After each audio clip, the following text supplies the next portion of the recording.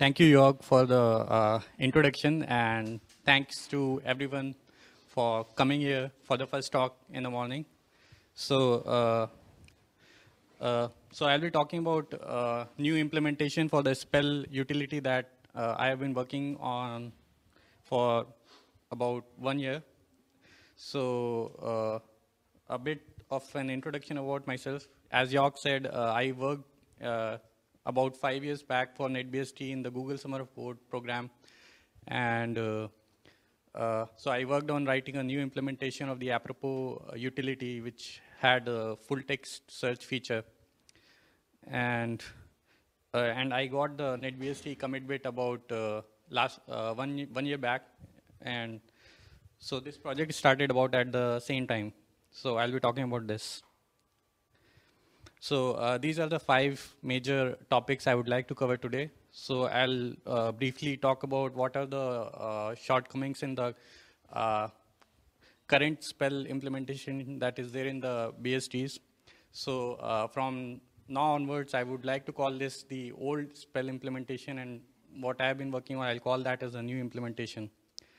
So uh, based on the shortcomings, I've come up with a set of features or requirements for that a modern spell implementation should have. I'll talk about the some implementation details that I have done in this project. I'll compare the performance of some of the major spell implementations and with the, this implementation, and I'll show one small demo of integration with other uh, shell utilities of how to use spell, spell check. So uh, this idea of a new spell checker came to me when I was working on the Google Summer of Code project about five years back. But uh, at that time, I realized that writing a spell checker is not trivial and I could not do it in the Summer of Code. And I dropped the idea at that point of time. And about two or three years back, uh, David Holland decided, uh, created a bug that uh, we should just remove the spell utility from NetBSD because it just doesn't work. So he gave, cited several examples of some invalid spellings, and spell will just never complain that those are incorrect words. So at that point of time, I volunteered that, and I said that I would like to work on this, and I finally got around and started working on this last year. So uh, I'll talk about some of the shortcomings that Spell has. So uh, it's a very old implementation. Uh, as per Wikipedia, uh, it was created around Unix version 7 from AT&T. So Douglas McIlroy uh, created this implementation of Spell. He's also credited with creation of, uh, I think, diff, sort, tr, join, and some of those utilities. He also created this spell implementation. So the problem with this implementation is that it uses to, to decide whether a word is a correct spelling or not, it uses a set of rules called inflection rules.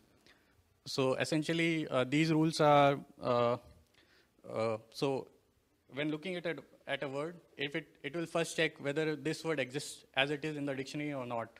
If it doesn't, then uh, it will it has a list of prefixes and suffixes. So it will remove, if it, it will check that whether this word consists of any of these prefixes or not. If it does, it will remove all those prefixes. Similarly, it will check for all the uh, suffixes. If it has any suffixes, it will remove those. And finally, whatever is left, it will check whether that word is in the dictionary or not. So as it happens, uh, if you saw that, uh, so these are all popular suffixes. So fragment, fragmental, froghood. If you add any suffix to a word, spell will think it's a valid word because if you remove the suffix, whatever remains is also a valid word. So while uh, it's a handy trick to do, but uh, it's quite inaccurate.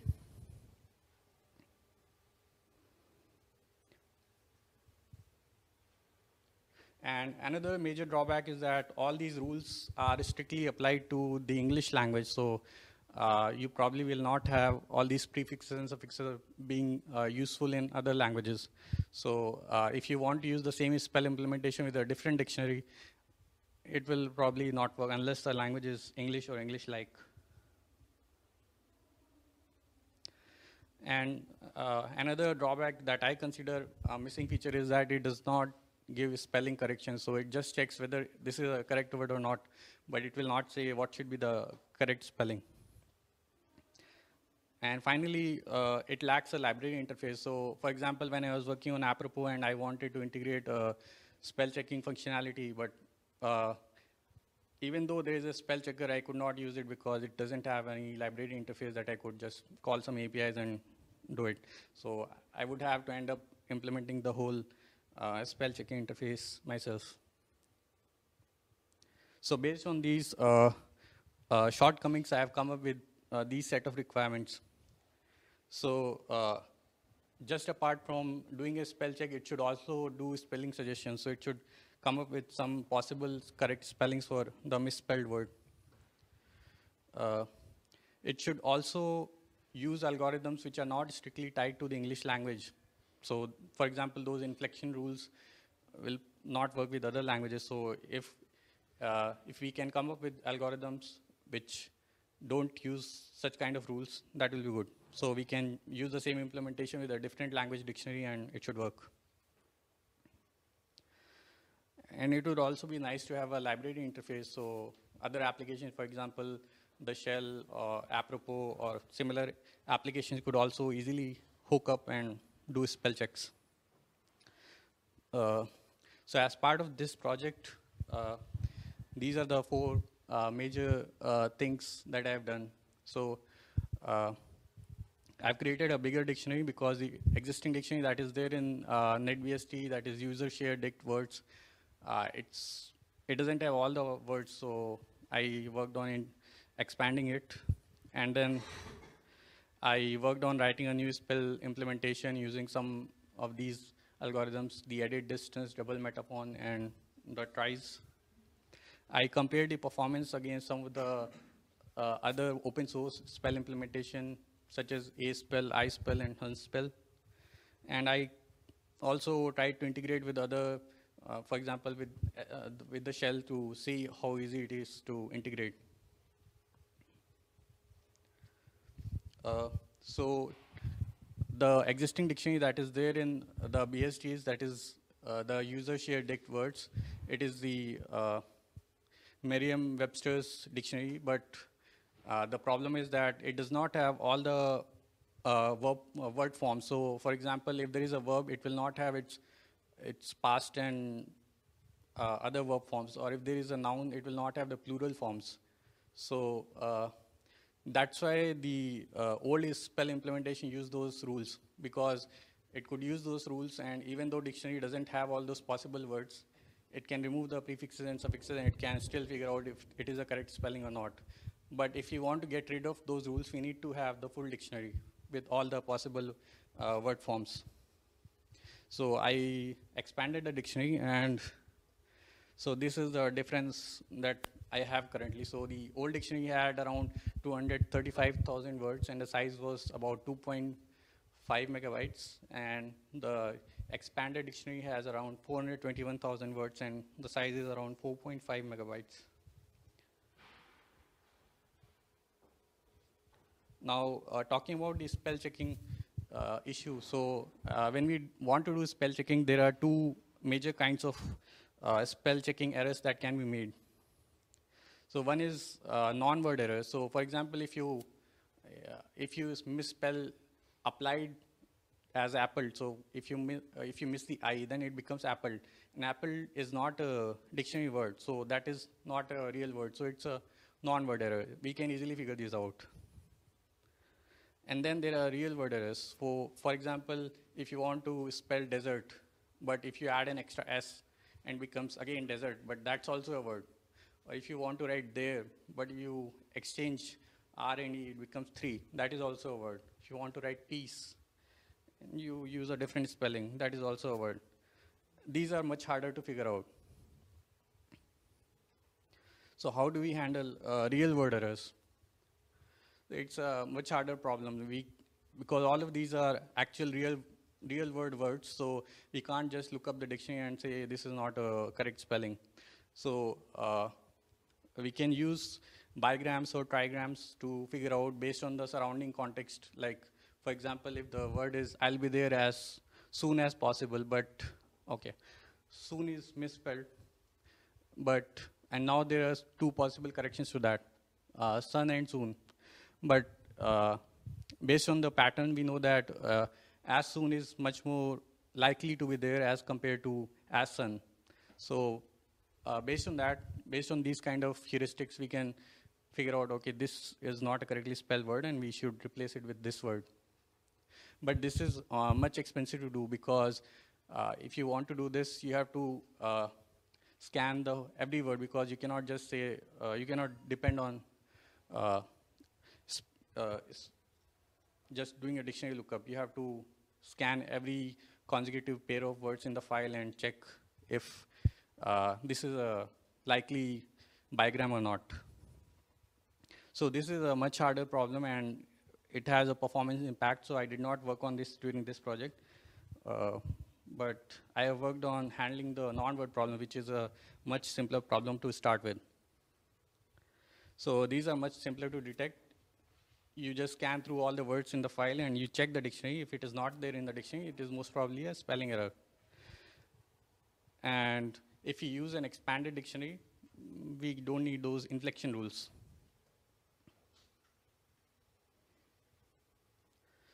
So uh, how do we uh, represent a dictionary in the memory? So the old spell implementation used a nice trick. So it used to uh, mmap the whole file, whole, whole dictionary into the memory, and it would do a binary search. So it would just, whatever word is there, it will do a binary search and figure out if it is there in the file or not.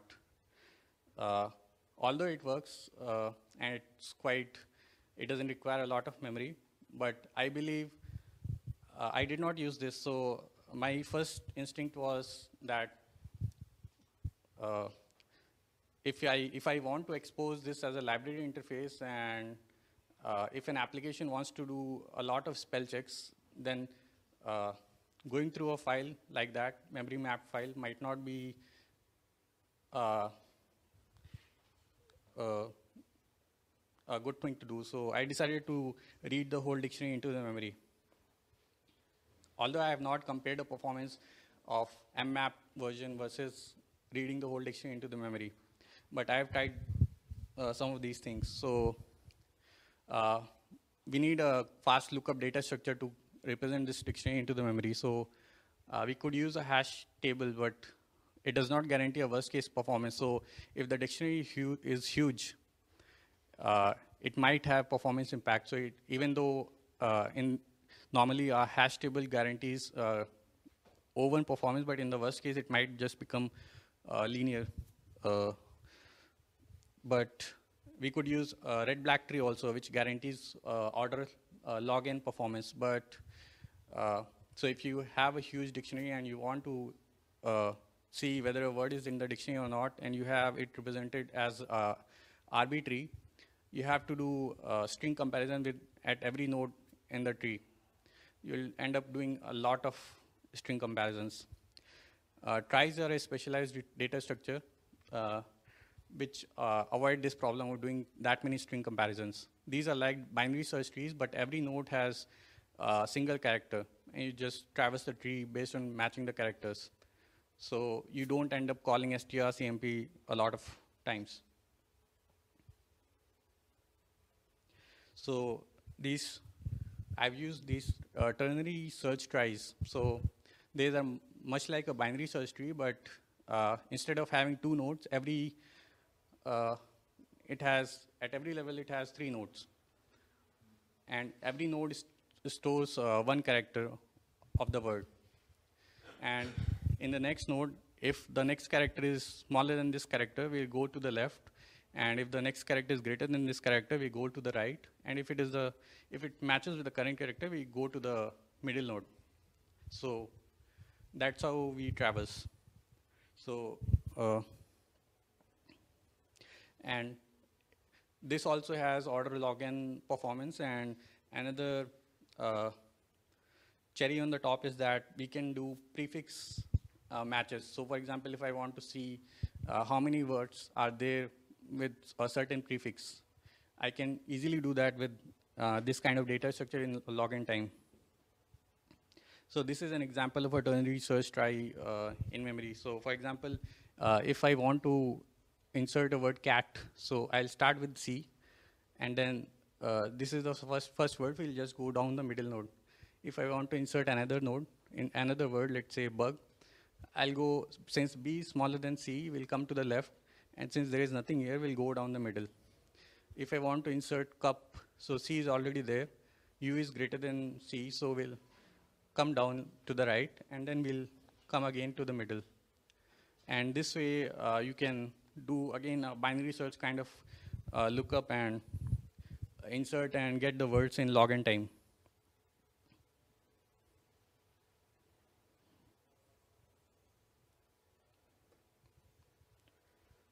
So uh, for doing spell correction, so that was about how do we represent the dictionary. So once we have the dictionary, we can look up the dictionary and we can figure out if it is a correctly spelled word or not. But uh, now to do spell correction, there are different set of algorithms. So uh, one of the popular techniques is the edit distance technique. So we figure out how many uh, edit distances uh, this word is from another word. And then there are sound-based algorithms such as the Metaphone. And we use n-gram models to uh, figure out which is the most correct uh, uh, spelling of, the, of all these possible corrections. So the edit distance is basically uh, if we have two words, so how many edits are needed in this word to convert it into the other word. So the possible edits are there. Uh, the insertion, so you insert, you can insert any character in the word, or you can delete any character in the word, or you can replace characters with another character. And it has been uh, found that uh, a majority of spelling correction are just one edit distance away from the correct spelling. Yeah, transposition is also there. Uh, this is an example of, uh, for example, if the word is, I misspelled da as ta, so then these are the possible, this is not a complete list, I just uh, shortened it, but so for example, if you delete one character at a time, so if you remove the T, it will become EH, and if you remove the E, then it becomes TH, remove the uh, E, then become H becomes, then becomes T, and so on. So these are the possible words from ta at one edit distance. Once we have this list, again we can look up all these and see how many of these are there in the dictionary, and then those are the possible corrections of a misspelled word. So these are all edit distance one. If we want to go to edit distance two, we take all these words and from these words, we go to the next level. How many words are there at edit distance one from here? And those are edit distance two. But as we go on, the, the list of words uh, increases very rapidly. So looking up dictionary becomes quite expensive. Uh, another popular technique is the uh, metaphone algorithm. So this is a phonetic algorithm. Uh, there was a very popular algorithm called Soundex, which was developed in the 50s or the 60s. And so essentially, based on how a word is pronounced or how a word sounds, it generates a code. So every word gets a code. And uh, based on uh, the misspelled word, we can generate its metaphone and we can see how many words are there which have the same metaphone as similar to this. And then uh, those are the possible uh, corrections for this particular word.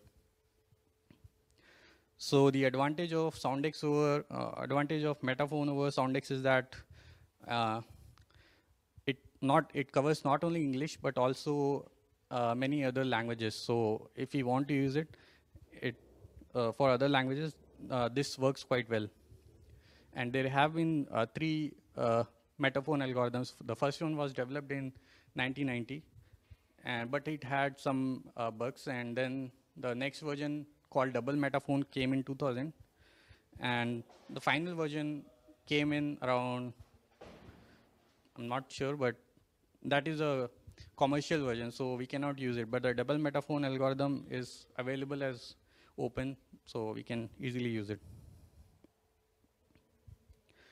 And finally, uh, once we have these possible corrections for a misspelled word, we have to figure out, out of all these possible corrections, which are the most possible ones. So as I described previously, uh, we can use bigrams or trigrams to see the surrounding words and see uh, how many of these are, uh, the, I mean, how many of these are the most possible corrections here. So this is an example. If I have a sentence like this, I'm not feeling very well, and I misspelled very as W-E-R-Y. Now, I'll have suggestion, I, have, I will have corrections uh, such as vary, W-E-A-R-Y, that is also a valid word, and I'll, I'll have correction as very, V-E-R-Y. Both are possible corrections. But if I compare bigrams, then uh, V-E-R-Y very well is much more likely than W-E-R-I uh, Y very well. So this is a technique to filter down this list of possible uh, corrections. And once we have all these algorithms, we have to figure out how to combine all of these to get the, get the best possible accuracy. Uh, there are various choices here. So you can just take all the words at edit distance one and just stop there. So if a match is found at edit distance one, just take that. But although uh, that gets uh, good accuracy around 70 to 80%, but it does not cover all possible spelling errors. Another possibility is once you, uh, you go another distance, so you go to edit distance 2. But edit distance 2 gets, uh, because the number of words at edit distance 2 is much higher, uh, the number of comparisons you have to see in the dictionary is much higher also, so it becomes slower. So what I found is that uh, these three steps. So first, check all the words at edit distance one. If a match is found, stop there. If, does, if there is no match found, uh, we'll try to find all the words having the same metaphone or a metaphone at distance one or two. And out of those, we'll see if a match is found in the dictionary or not. If no match is found, then we'll go to edit distance two. So this is an increasing, or, uh, increasing order of uh, runtime uh, complexity because this is very fast. This is also fast, but this is very slow. So with this, we only want to do in the worst case, then when we are not able to find anything.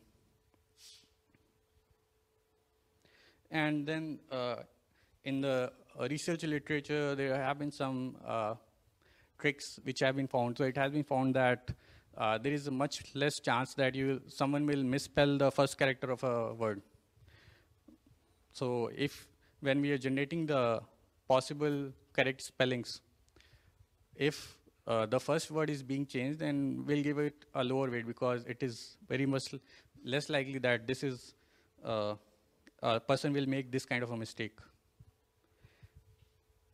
And similarly, when we have a set of corrections, and out of those, the words which sound similar, that is, they have a similar metaphone code, we can give those words a higher weight because uh, because they are sounding similar, most probably that could be the correct spelling. So uh, based on these heuristics, uh, I have done some comparison with the other um, major open source spell implementations. Uh, so there is an openly available data set which ASpell uses to publish its benchmarks. So I have used the same data set and compare the performances. So the ASpell, so there are two variations in Aspell. There is a normal mode and there is a slow mode. So in the slow mode, and then there is, uh, so this is like uh, if a match is found the in the first place, that is, if Aspell is generating just one suggestion, that is the correct match. And if Aspell is generating five corrections and a match is found in any of them, this is 1 to 10, that is a match is found in any of the top 10 corrections, and this is the same as for the top 25. So for the first position, Aspell gets around 73 or 74% accuracy, but if we go to top 5, Aspell gets much better, so it jumps to 96.1. And in the top 10, it goes to 97 and then 98. The slow version is slightly better. It has 74 and then 96.6 Hunspell uh, is better in the, if we are doing the, comparing the first uh, match in the first position, so then it will have around 80.5 accuracy, and the top 25 goes to 97. Ispell is the oldest of all these all, so uh, it has accuracy around 77%, and in the top 25, it goes to 85. So I also have done uh, two variations of comparison. So there is a slower mode and there is a fast mode. So in the slow mode, it gets around 91% accuracy, and then in the top five, it goes to 95, and then uh, the improvement is very marginal. So it almost stops at 95. In the fast version, it starts at 88.7 and goes to 93 and 93.4. So the difference between the fast and the slow mode is that uh, this test data set contains about 4,000 words, and the slow mode takes around two minutes to compare to come up with spelling corrections for all those 4,000 words.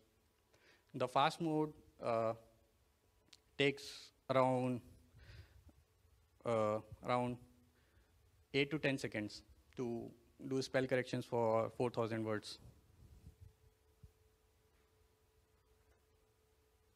Uh, so I've also created a small uh, uh, demo to show how this works if you want to in integrate in a shell.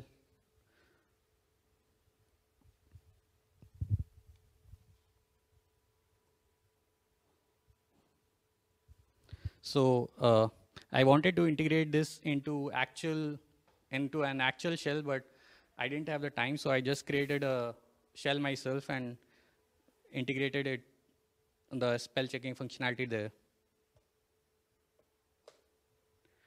So, uh, for example, if I type anything wrong, it will figure out, okay, I spelled the command wrong. I mean, this is an existing functionality that most of the shells already have, but I just wanted to show how simple it is to do this.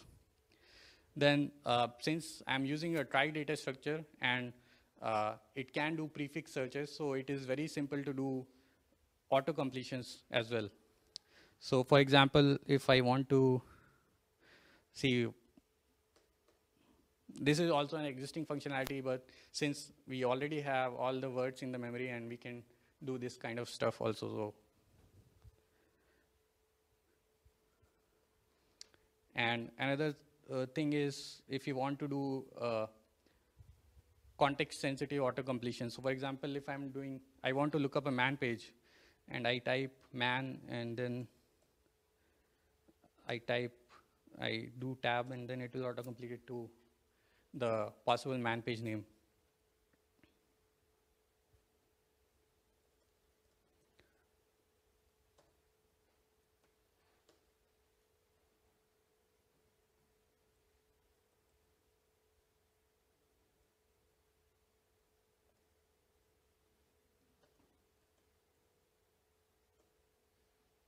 Yeah, and similarly, uh, if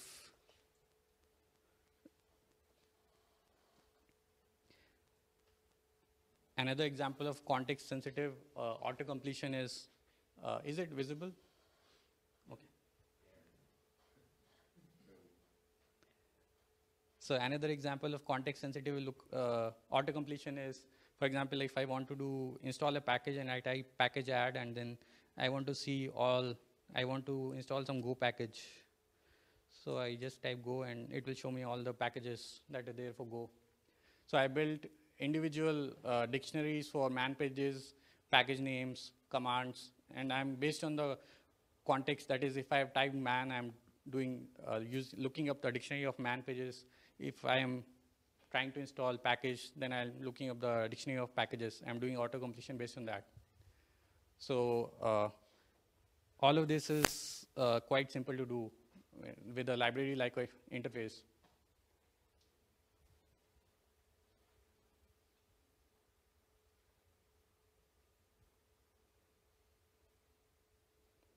So uh, I would like to conclude with uh, saying that although it does not beat Aspell or Hunspell in in their top 25 corrections, but it still is able to match in the in the first or top five comparisons. And there is still much room for improving the accuracy and the performance. So because I'm using an in-memory dictionary, there is an issue about using too much memory. So if, for example, if the dictionary is too big, it will consume a lot of memory. So that is something to uh, look into. But it's still, it would be nice to have a BSD licensed uh, spell checker plus a library so that uh, we can use in our own applications. And all this code is currently available on uh, GitHub. So it is not part of NetBSD as of now, and I'm not sure if it will be, but I'll try to post it on the mailing list. Uh, I st I'm still working on this, so there might be a lot of bugs still. Uh, any questions if you have?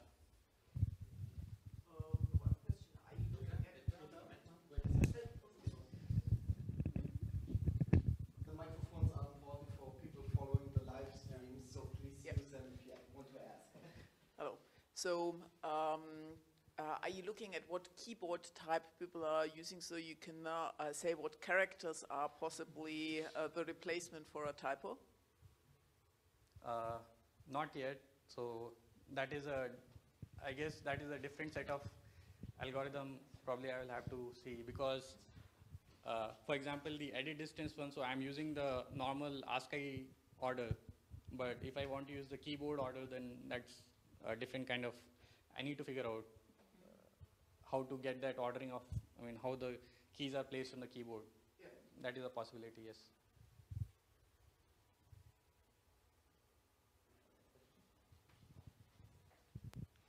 So- in your dem, in your,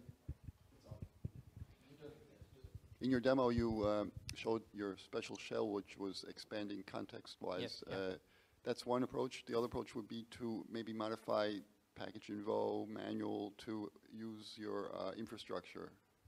Yeah. Uh, What would you propose? Because both of them are kind of intrusive, uh, and somehow there has to be a model which you would use for your um, deployment of this spelling edition. Uh, so, for example, uh, you're saying, for example, if I want to modify package add and that should do the auto completion or Well, the question is, would you build it into the shell, or would you build it into each and every command? it is simpler to do in the shell because that is uh, one place and uh, we can modularize it. So we can provide hooks into the shell. That shell should call, uh, should use dic- this dictionary to look up when someone is typing uh, this command. Modifying each and every command will be uh, much more time taking. I can answer that because I've written this thing before for tcsh. So there are certain common uh, completions. So depending position, if you're a command or you're a file, and or if you're expecting a directory or not a directory. So all of these are common. So you can put it in the language of the shell. Putting it into each command would require executing the command every time you have to ask it what the completions are, and that can be inefficient. Uh, but uh, one example where I would like to modify the command is, for example, in apropos. So if someone types a query and that does not get any results, but apropos can see, oh, you misspelled this thing as something else. So I, it can say, did you mean this? So someone can know, okay, I misspelled this thing, I need to do another query. That is one place you, I can modify the command itself. For auto completion, it makes sense to modify the shell.